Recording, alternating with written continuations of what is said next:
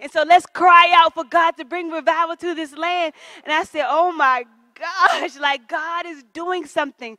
Like God wants to show you what He's doing in the land. He wants to reveal you, like, God, look, we're here for a purpose.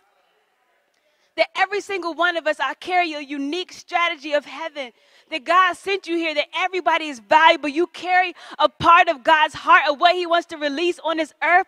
And He is looking for people that will release heaven on earth just like Jesus, that we are called to come and invade the world with the kingdom of God, with His love and His power, to cry out for what God wants to do in this land. And so there's a reason why God put victory in Woodbridge. There's a reason why we're alive. There's a reason why God has us here. Like, who's crying out for that? There are there are specific angels that God has given us, and we don't want nothing to be sleeping that should be sleeping.